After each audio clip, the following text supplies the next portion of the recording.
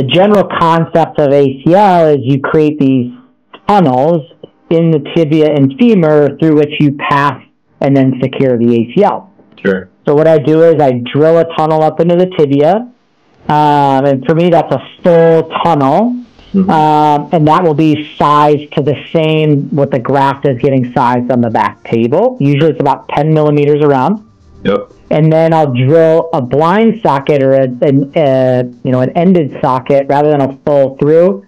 It'll be drilled to a depth of 20 or 30 millimeters, something like that. Again, size to the graft, maybe 9 or 10 millimeters. Yep. So then when I bring the graft up, it comes up through the tibia and then gets dunked into the into the tunnel in the femur. And then because it's kind of got an, an end point, you know, it kind of stops there. Yep. And then again, we can kind of go into more details depending on the graft type. It, there's different ways that you then fix the graft in Sure. So when you're doing a bone tendon bone, a BTB, a patellar tendon, you got this nice bone plug.